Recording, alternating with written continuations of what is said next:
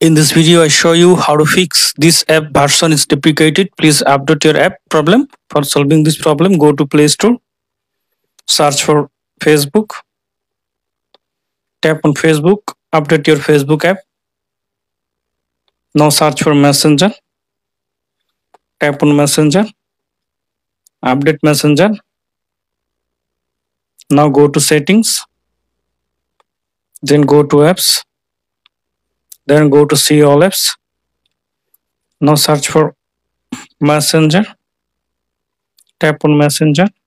Tap on storage and cache. Tap on clear storage. Tap on delete. Now search for facebook. Tap on facebook. Tap on storage and cache. Tap on manage space. Delete app data. Tap on delete now restart your phone.